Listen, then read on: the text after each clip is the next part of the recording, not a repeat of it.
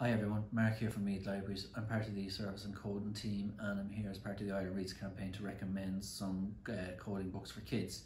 So I've selected two different types of series. I've got the Carol Vorderman DK coding books and I've got the Usborne books.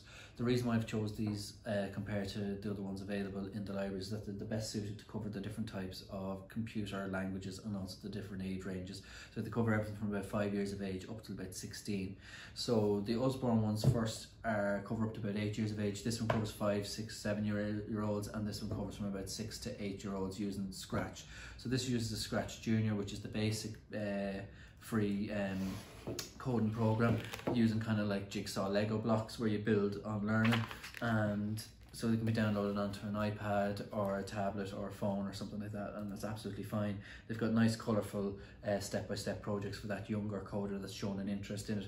They're also ring bound to the, the Usborne which is really handy and durable and stuff like that for when being used. This one here is using the original Scratch software so it's a little bit more advanced but it's still based on the the, the jigsaw type of blocks where you actually build from one thing to the other and you can't actually go wrong, you can't break it, which is great.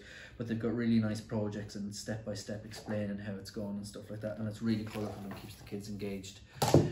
The one for the older kids I recommend is the Carol Vorderman and the reason is they've got a number of different uh, types of computer languages. So this one here covers each of the computer languages in different stages. So I've got a beginner level and I've an advanced level. One is covering Scratch, one is covering JavaScript. They've also got HTML, Python and stuff like that. And they're all just focusing just on that computer language as I said, they are nice, colourful as well, doing different projects, uh, explained to the children. So this is the 17 step one, but then at the end of each programme, they also have um, questions to see um, if they understood it properly.